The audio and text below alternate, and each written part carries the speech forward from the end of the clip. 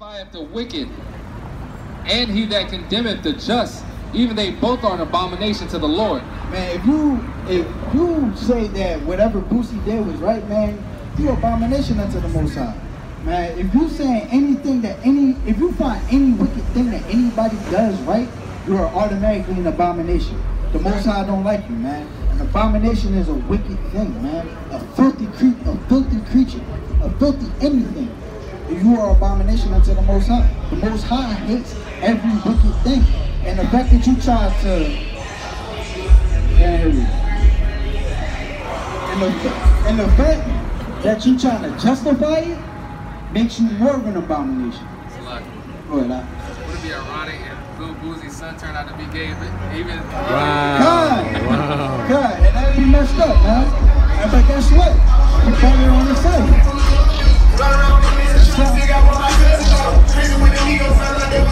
And that's two lyrics right there in a nutshell. Like Snoop. Snoop might have did that with his son. And his son's supposed to be like, his Sun 40 Pretty now. famous, yeah. Snoop Dogg, Sun 40 now. You gotta think, man. And then it was like, and then I seen I seen a post on Facebook said who's who's the worst father? The picture of Dwyane Wade, six nine, and Boosie. Wait all the way.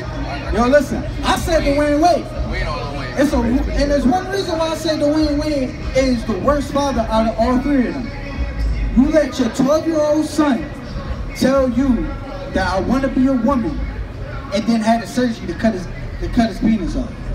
At it's 12, It's done? it's done.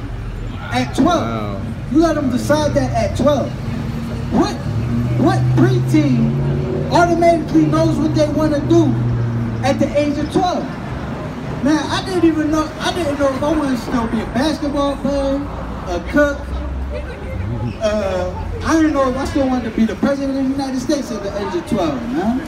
I don't want that now. I know what I know now, man. Forget this, forget this wicked bitch, man. playing Need for Speed at 12. You know what I'm saying? Like, don't nobody know what don't nobody know what they want at 12. But you go and sit here and say, well, my son know what he wants. Well, you 12 years old. Did you know what you wanted at 12? I don't. I doubt it. Need for Speed uh, Underground 2, that's what my brother said Need for Speed Underground too, man. So, Uh-huh. that was a good game, huh? I, ain't- I cannot lie, man. I had it on the GameCube. But guess what? Oh, you oh, also- they- oh, that, man. They want to be women. Man, you want to, but you. That's why I say Dwyane Wade is the worst father. Is the worst father of all three. And then I don't even understand. For me, personally, I don't know why Six Nine is up there. Why is he a bad father? Why? Because he snitched on the people who had no loyalty to him. He snitched on the people who had sex with his baby mother, kidnapped them, robbed them, and then tried to kill him. He owes them loyalty. Yeah. Any man that sits there and says that he should he should be killed or he's wrong for doing what he's doing, I don't trust you because you're wicked as hell. I can't trust you because you wicked as hell. You want to sit here and say six nine was wrong for snitching when men, when men, if you had a best friend and he slept with your, he slept with your baby mom, then kidnapped you with a couple other a couple other his friends, and then try and then robbed you, and then tried to kill you, and the cops pulled pulled them up, and they caught him, and you and you gonna say, no man, I ain't see nothing. No, they, no, they ain't hit me on. T- I fell. I fell. No, no, that, that ain't happen. I fell. Man, I bet you, I guarantee you won't be telling, man. You like that was your, that was my best friend of 16 years, man. I can't be telling everybody in the hood, but you telling them you ain't gonna tell the cop, man. You know you lying. You mm-hmm. know you lying because you hurt. You hurt, and you and you know, if, and you know you don't own no type of loyalty because he wasn't loyal to you. And if you feel as though, and if you feel as though I'm wrong, come holler at me. I don't care. Because like I said, man, 6 9 was not wrong for what he did. Ain't no honor among thieves, man. At all. He hired, mind you, he was hi- he hired them and paid them to be protection. But what you did was had sex with my baby mom behind my back. Then you kidnapped me. Then you robbed me. Then you tried to rob me for everything that I got. And then you tried to kill me. After I was paying you out of my own pocket. After he was paying you out of his own pocket thousands of dollars. Thousands of dollars I'm paying you for protection. But yeah, I owe you some type of loyalty? Nah, I don't owe you nothing. Nope. Even if he did put out a hit on Chief Keef, he was wrong for that. I agree. But guess what?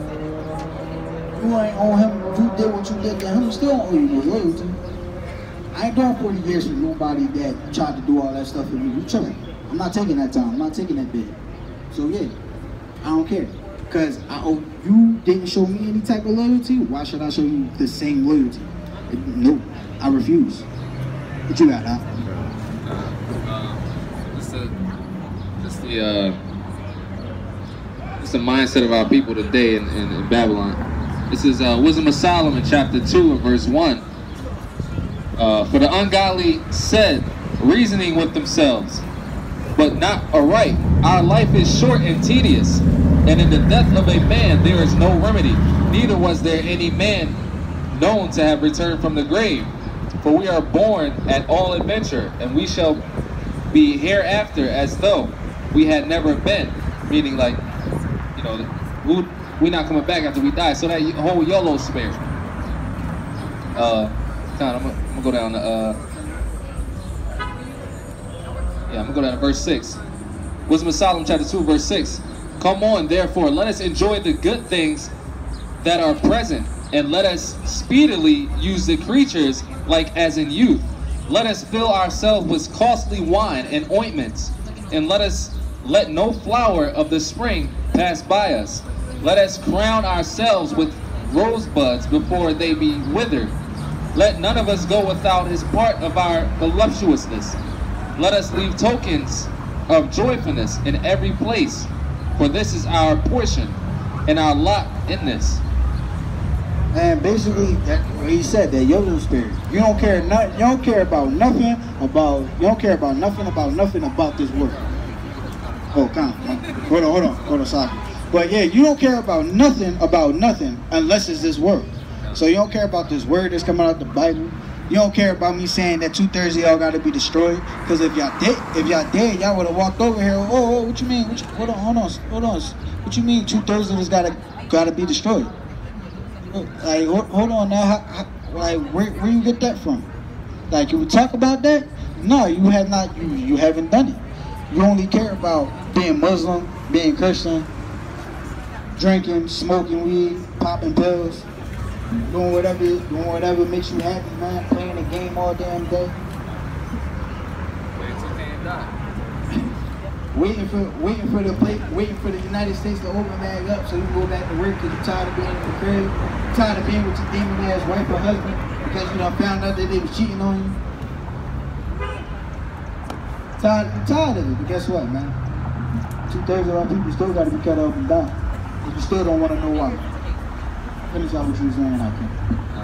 Wisdom of Solomon chapter 2 and verse 10 It says, Let us oppress the poor righteous man. Let us not spare the widow, nor reverence the ancient gray hairs of the age. Let our strength be the law of justice, for that which is feeble is found to be not, nothing worth. I couldn't have said it any better than that. Man. Yo, listen, man. If you don't know this the word of God by now, you ain't never gonna know. Man, how bad they oppress us, everything. The oppression, how we get set up, jails, all that one scripture. Yo, I, man, listen. We got homework then. Wisdom of, what is that? Wisdom of Solomon chapter 2? Wisdom of Solomon chapter 2, man. You gotta get out and read. Wisdom of Solomon chapter 2, man. You gotta get out and read. It's a, it's a good, it's a good read. And no, this is the Apocrypha. Still came into the Bible. And if you don't know, now you know. Go ahead, Al. Oh yeah, go ahead, man. Yeah. I'm going back into our feast days and Sabbath days that we're going to be keeping in the kingdom. And we're going to have even more in the kingdom. We're going to have more feast days and more Sabbath days. Go ahead, Al. Of Isaiah, chapter 66 and 23. And it shall come to pass that from one new moon to another, and from one Sabbath to another, shall all flesh come to worship before me, saith the Lord.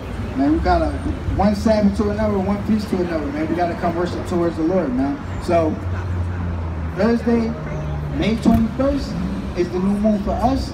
Other other camps do it a little earlier, a little later, do it really later. But other than that, we coming to serve the Most High. We coming to Right. front of Him, man. We coming to we coming to feast and praise the Most High, eat, drink, be merry. Have a lesson,